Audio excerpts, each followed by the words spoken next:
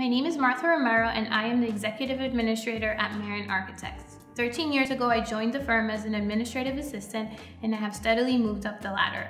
I am responsible for the company finances and operations. My days are never dull, and I am always improving our invoice tracking, timesheets, and internal operations.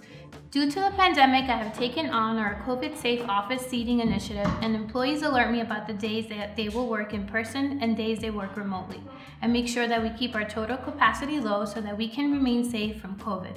Additionally, I support the onboarding process for new hires and manage external HR relations.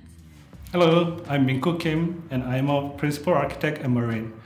I studied architecture at University of Illinois at Chicago, and I've been with Marin Architects since 2005.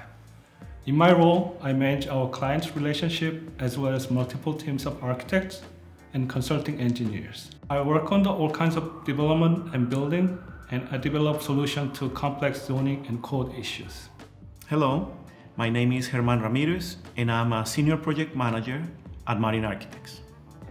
I have been with the firm for 15 years in my role, I oversee all aspects of uh, design, construction drawings, construction administration and delivery of projects. Based on my experience at Marin, I have learned that clients require unique responses to a specific New York City zoning and building code request. Our firm has managed to corner the market because we have a detailed planning process and tailor layouts to fit architectural and engineering needs. This has been a key element on maintaining long-term client relationships. My two favorite aspects of working at Marin Architects are one, the process of working on challenging building projects from pre-design to completion, and two, coaching our project managers to have the tools they need to manage workflow and rely on teamwork.